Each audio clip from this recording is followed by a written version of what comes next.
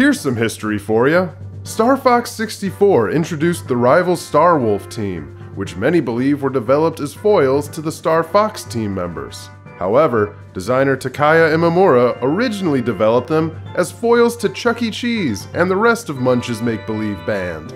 We were starting a rival pizza place and wanted to show those Rock-afire rejects what real music was. I'm talking Rush meets King Crimson, but if it was all composed by Bach. Unfortunately, the restaurant quickly closed after children wouldn't sit still for the 15 minute prog rock anthems.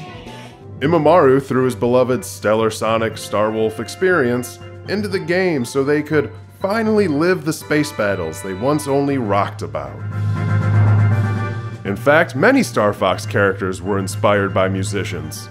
General Pepper was based on George Harrison, Pigma Dengar was based on Oderus Urungus, and Andross was based on Buckethead, though at the time he was just Bucket Boy. One of the game's praised features was the branching planet system that changed story events based on the path you chose.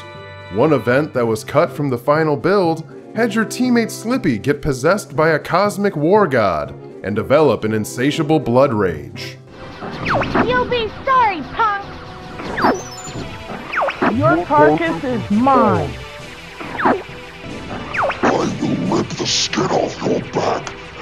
And wear as a stylish cape for when I walk the red carpet at the Murder Awards. I saw my life flash before my eyes. This path was cut after developers discovered it actually made Slippy likable.